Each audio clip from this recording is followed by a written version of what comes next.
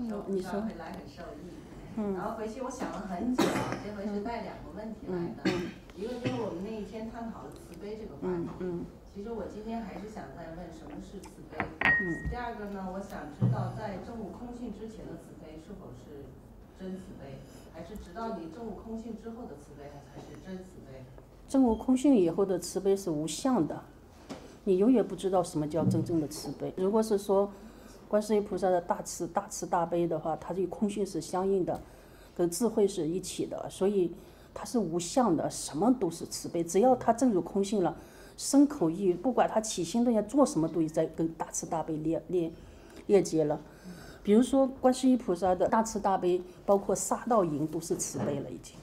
所以，但对初修学，在在大家刚开始修学的人，杀盗淫怎么能是大慈大悲呢？因为在空性里，一切都是佛法了，是吧？都是如来示现了。那么，比如说观世音菩萨曾经在有个故事，他说。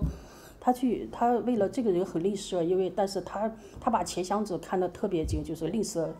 但是因为他跟菩萨有缘，说菩萨要救他嘛，所以变成个老鼠去咬他的钱箱子，哎，或者是变成小偷去偷他的东西。所以这些东西，那那也是犯了盗嘛，那偷盗嘛，是吧？但对一个呃，就像观世音菩萨这样等觉菩萨、后古佛的等觉，那这就是大慈大悲，因为你是不屑于变老鼠的，说句老实话。如果你有神通，你也不屑于变老鼠。很多，如果你是个人的话，你想变条狗吗？去跑垃圾，你变成老鼠跟老鼠无二无别。你愿意做只老鼠满街窜吗？还被人追打，你知道吗？变成老鼠，人又不认识是你是那是菩萨变的，是吧？人会追着打你的，那么你会顺着下水道走的哇。但是菩萨会呀，这叫慈悲呀。嗯，不计，只要对机，怎么都行。嗯。善良、同情、利他，这都是慈悲了，就是普通人的哎，一个善女人。他到一定的时候，他也开始起嗔恨。那就没关系。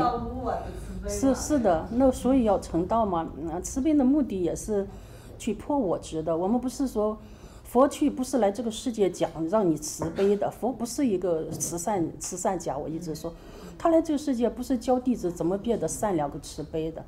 他是让你回到本来样子的，本来面目，还有解脱轮回的，让你不苦的。他始终是为了你，你因为你觉苦吗？你在轮回里边生生不息的苦吗？所以佛是来救你出轮回，让你不苦的。他不是教你变这个善良，变得善良，变得慈悲的。他不是来说这件事的。所以你的所有慈悲，大慈大悲，让你慈悲，是因为你太自私自我了。所以佛说慈悲，因为你不。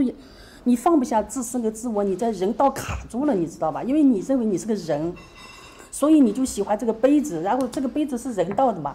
你攥着这个杯子不放的时候，你出不了人道，轮回解脱跟你没关，你你的轮回解脱不了，所以佛就打破你这个杯子，或或者是偷盗你这个杯子，这就我刚才说盗业了哎，还有佛会说还有很多，就是说。